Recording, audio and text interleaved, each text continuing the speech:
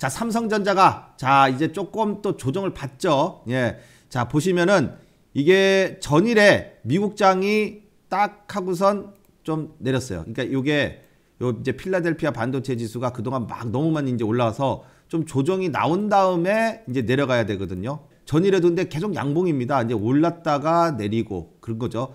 낮게 출발해 가지고 위로 쳤다가 전고점 돌파 못 하니까 이제 내리는 거예요. 그렇게 되면은 조금 조정이 나올 수 있습니다. 그러니까 너무 많이 올랐기 때문에 이런 식으로 가다가 이렇게 눌리고 또 가다가 이렇게 눌리고 이렇게 가다가 이렇게 눌리고 이렇게 가다가 또 눌리고 또 가야 되죠. 예. 그럼 이렇게 눌리는 사이에 삼성전자도 눌리고 눌리는데 삼성전자 악재 나오고 별로 안 좋은 얘기 나오고 하니까 눌릴 때 많이 눌렸어요. 근데 또 그만큼 또 다시 반등을 해 주잖아요. 예, 또 눌렸단 말이에요. 또 이렇게 반등을 해줄 겁니다. 자, 그렇게 해서 여기서 조정을 보이는데 어쨌든 중요한 건 얼마요? 6만 원. 6만 원을 그때 안 깨고 6만 원 위에서 6만 천원 있는 데서 또 반등을 줬단 말이에요. 그러면 6만 원을 안 깨고 6만 원 위에서 어떻게 해요? 박스권을 만들면서 지지를 보이면 그 다음에 추가적인 상승이 나올 수 있다. 이겁니다. 항상요, 그냥 냅다 올라가는 법은 없어요. 바닥에서 올라올 때는 어느 정도 끌어당긴 다음에 그 다음에는 이런 식으로 한 1주고 2주고 박스권을 만듭니다. 그래서 돌파를 시키고 또 박스권을 만들고 돌파를 시키죠. 근데 이 박스권을 만드는 구간이 무슨 구간인가 하고 보면은 이런 구간이 조정 구간이에요. 조정 구간. 그럼 이 조정 구간에서 과연 수급이 계속 들어오느냐? 그 다음에 예, 차트가 꺾이지 않고선 계속 우상향을 해주느냐? 이거를 우리는 관찰을 해야 되는 겁니다. 이거요, 이거. 그래서 지금 이게 되나 안 되나를 제가 매일 여러분들께 삼성전자 카카오를 설명을 드리고 있는 거예요. 자, 그럼 이제 본격적으로 보십시다. 자, 지금 여기 삼성전자가 제일 중요한 가격 라인이 얼마라 그랬어요? 처음에 여기 63,200원이라 그랬죠. 63,200원을 돌파를 멋지게 했어요. 여기서 하고 나가지고선 갑자기 악재가 딱 나옵니다. 삼성전자 악재가. 자, 그래서 악재 때문에 내렸지만은 다 이제 주가에 반영이 됐다. 그리고선 미국 필라델피아 지수 반도체 지수 올라가고선 올라가니까 외국인들이 샀어요. 결국은요. 이러저러한 악재를 다 이길 수 있는 거는 딱 하나예요. 바로 뭐예요? 외국인의 수급입니다. 외국인의 수급.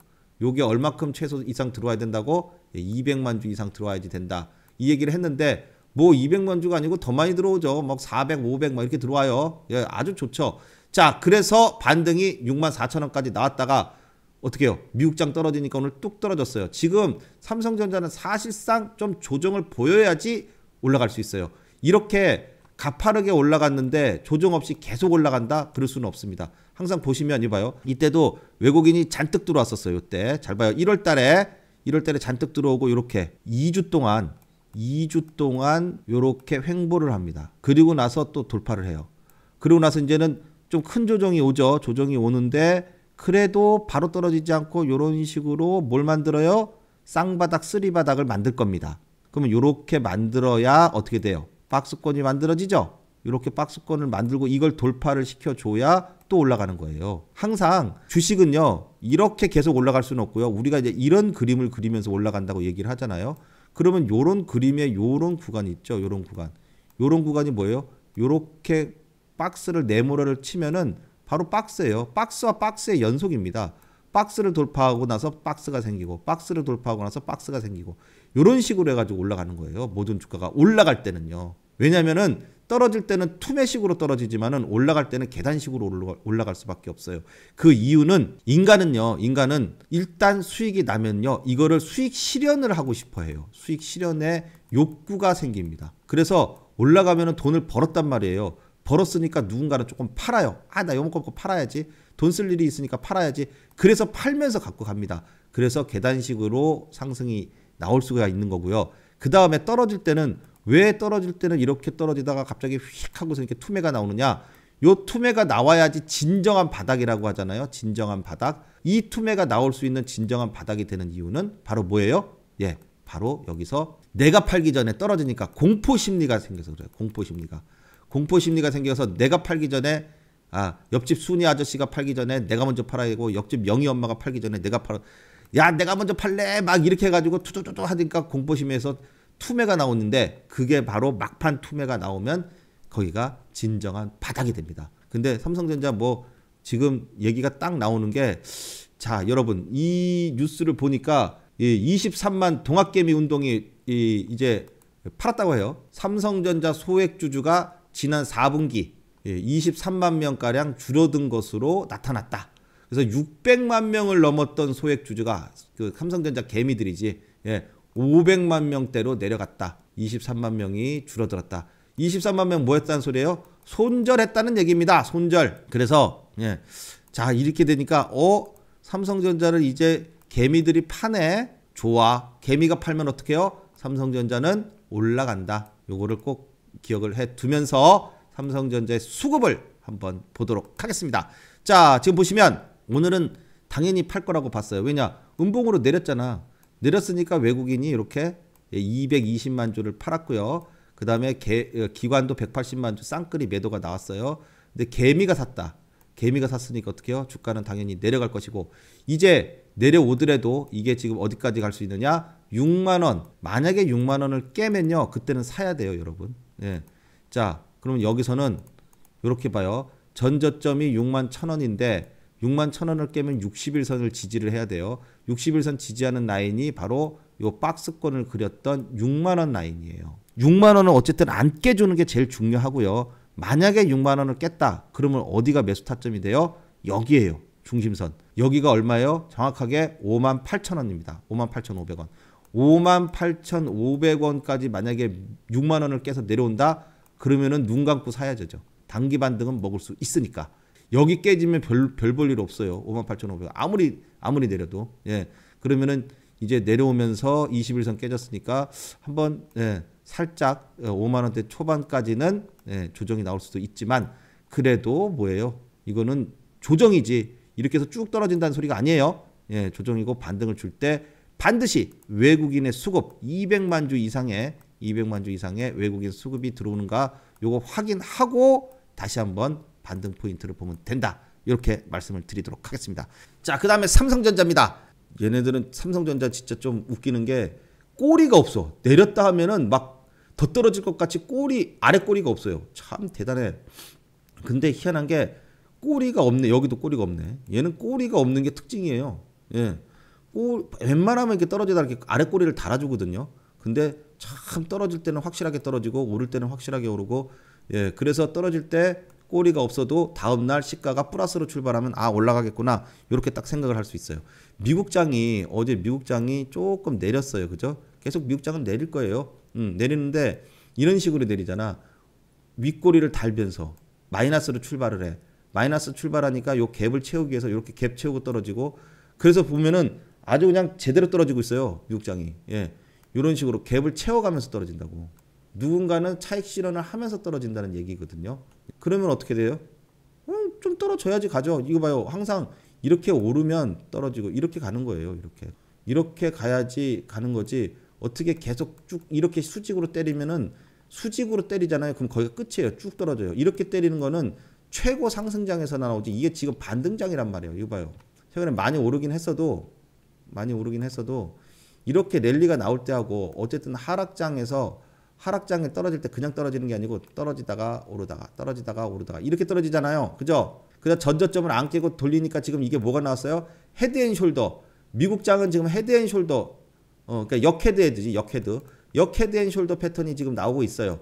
자, 그러면서 예, 어, 어깨를 돌파를 했기 때문에 최근에 아주 멋진 랠리가 지금 나오는데 일단 조정을 보인 다음에 다시 반등을 줄 것이다. 그래서 조정 구간이에요. 조정 구간이니까 당연히 삼성전자도 조정에 들어가는데 지금 지수가 삼성전자보다 더 센 이유가 보면은 코스피는 코스닥은 막 날라가요 지금 코스닥은 날라가고 예, 워낙 지금 테마주들이 짱이잖아요. 예. 그리고 이제 코스피는 어떻게 해요? 코스피는 예.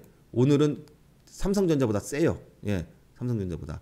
그런데 삼성전자가 아예 그냥 탁 떨어졌다가 갔으면 좋겠는데 그러지를 못하는 게 지수가 지금 워낙 강력하게 지금 예, 방어를 하고 있어서 어, 되게 잘 떨어지지가 않습니다. 예.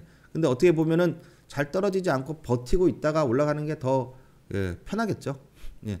자, 그래서 이렇게 21선 딱 21선에서 지금 지지를 받고 있다. 예. 근데 이렇게 21선 너무 너무 이쁘게 지지를 받잖아요. 그럼 좀 불안해요. 예. 차라리 확 깼다 갔으면 좋겠어요. 예. 깨더라도 6만 원만 안 깨지면 된다 그랬어요. 6만 500원에 예. 61선이 있는데 이 떨어졌다 간다 그러면은 오히려 더 나쁘게 볼 수도 있지만 그건 아니에요. 예, 확실하게 가기 위해서는요. 이런 식으로 한번 살짝 눌렸다가 가잖아요. 그러면은 더 잘 갑니다. 불안하게 가는 것보다 확실하게 내릴 거 내려주고 다 찍었다. 나 더 이상 빠질 데가 없다. 그러고 가는 거예요. 왜? 여기서 지금 60일선을 지지를 했기 때문에 그래요. 자, 보시면 지난번에 자, 외국인이 들어오면서 강력한 드라이브를 1월 초에 딱 나왔어요. 그러면서 올라왔은 다음에 60일선 위로 올랐습니다. 60일선 위로 올라서니까 위에 이평선이 없어요. 거칠 것이 없다 이거예요. 거칠 것이. 근데 얘가 조정을 보일 때 이때 미국장이 막 떨어졌었는데 떨어지더라도 이 60일선을 안 깨고 딱 지지를 합니다. 그러면서 60일선 딱 찍었어요. 봐요.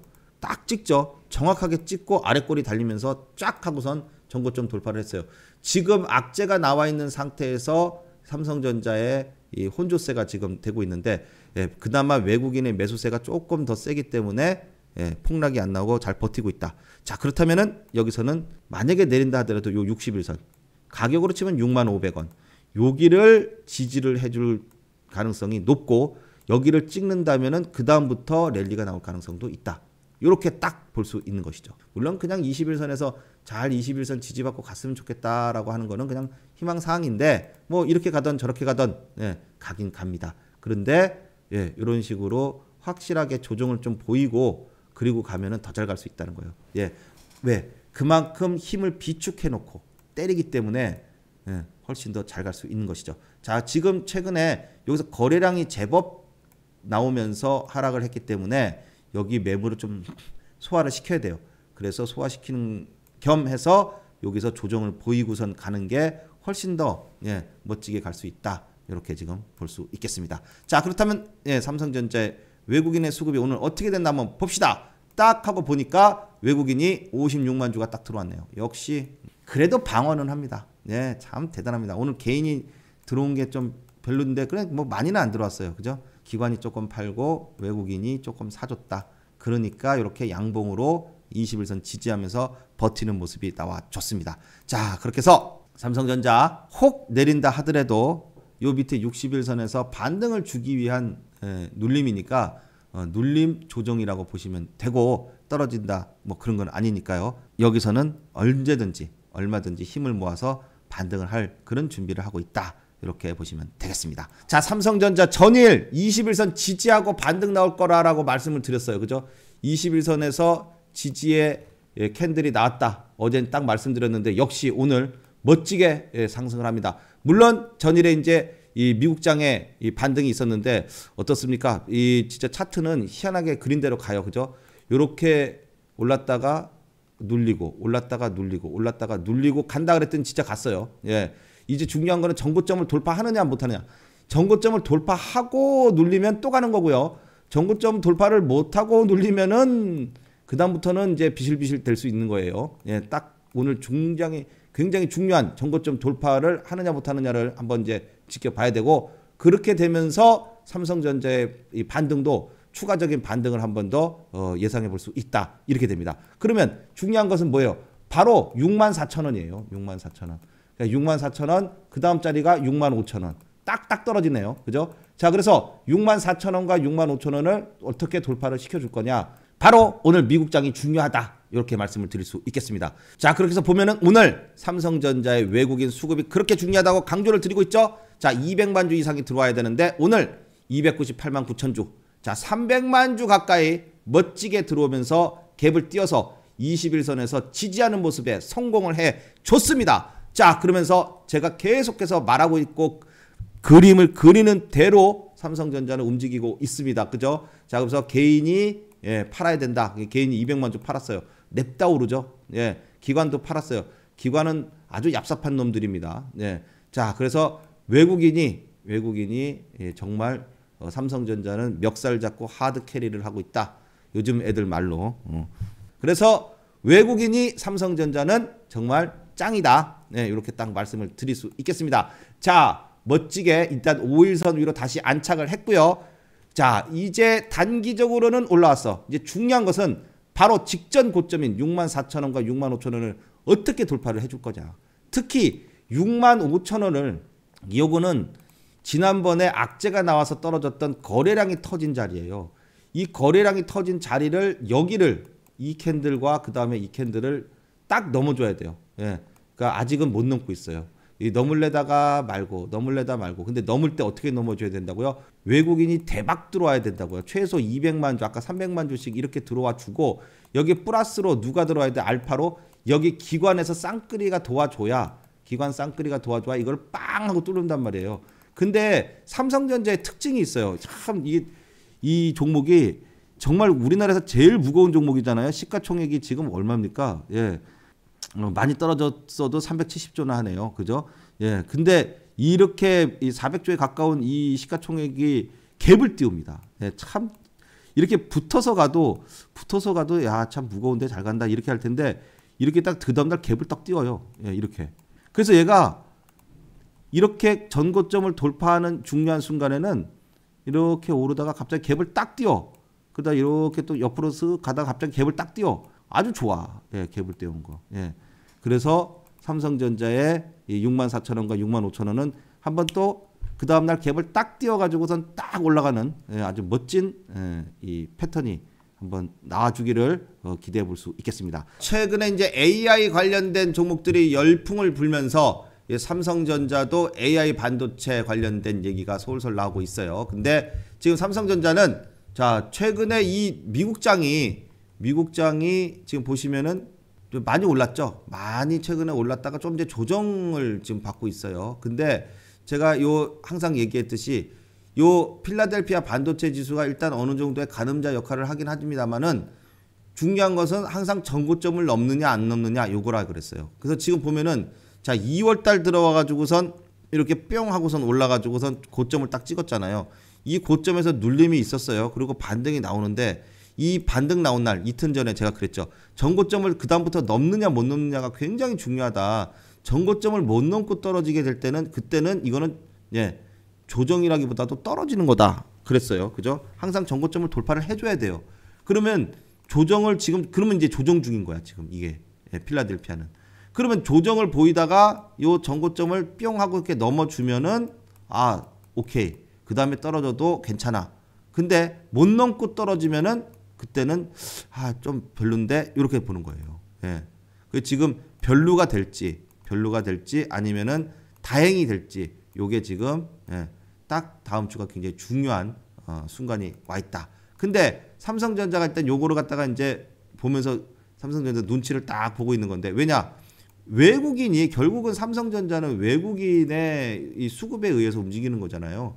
딴 거 다 필요 없잖아요. 예. 뉴스 이런 거 다 필요 없죠. 오로지 외국인. 그러면 외국인이 들어오고 나가고 그것만 보면 되는데 무조건 뭐 아무 근데 또 중요한 건 자리지. 어떤 자리에서 들어왔느냐 안 들어왔냐를 놓고 제가 해석을 딱 해드리잖아요. 그러면 그대로 가잖아요. 자, 그래서 지금 해외 지수가 이렇게 조정을 받고 있는데 삼성전자도 똑같이 정고점을 못 넘고 지수 조정을 받고 있다 이거예요. 예. 똑같아요. 얘가 이거 뚫으면은 삼성전자 이거 뚫습니다. 6만 4천 원. 예. 그러면 근데 안 떨어지고 딱 버티면서 21선을 지지하고 있죠.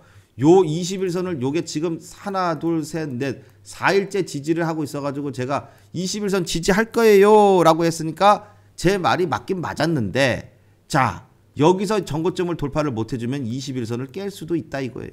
네. 물론 21선 깬다 그래가지고 걱정할 건 아닙니다. 깨졌다가 내려오면 밑에 61선에서 반등 나오면은 반등이 더 잘 나올 수도 있어요. 한번 깼다가 들어가기 때문에. 그런데 이왕이면 안 깨지고 버틴 다음에 올라가는 게 더 좋겠죠. 자, 그래서 이 반도체 지수의 움직임을 같이 보면서 그 다음에 외국인이 어떤 예, 수급이 들어오느냐. 요게 중요하다 이겁니다. 자, 그러면 이제 삼성전자 오늘 수급이 얼마큼 들어왔는지 마지막으로 한번 체크해 보도록 하겠습니다. 자, 외국인 오늘 역시 170만 주, 전일에 150만 주, 예, 전전일에 290만 주. 자, 역시 300만 주. 역시 이렇게 3일 연속, 4일 연속이죠. 예, 56만 주까지 4일 연속으로 들어와 주면서 그렇게 내려오던 21선을 지지를 해주고 잘 버티고 있다. 자, 이렇게 되면서 이렇게 돌파할 때, 뿅 하고선 6만 4천 원을 돌파할 때 얼마가 들어와야 돼요? 자, 그때 최소한 200만 주 이상이 들어와야 된다 그랬어요. 항상 200만 주가 기준이에요. 최근에 들어왔다 그러면 300에서 한 500만 주 들어옵니다. 자, 그렇다면은 최근 기준이라 그러면은 삼성전자는 6만 4천 원을 돌파할 때 뿅 하고선 얼마가 들어와야 돼요? 최소 3, 400만 주, 한 500만 주까지도 들어와 주면은 진짜 랠리가 다시 한번 어, 펼쳐질 수 있다. 지금 21선 지지하고 있는 모습이 너무도 이쁩니다. 하지만 차트가 너무 이쁘니까 좀 불안해요. 예. 자, 빨리 예. 다음 주에 삼성전자 6만 4천 원 돌파를 한번 기대해 보도록 하겠습니다.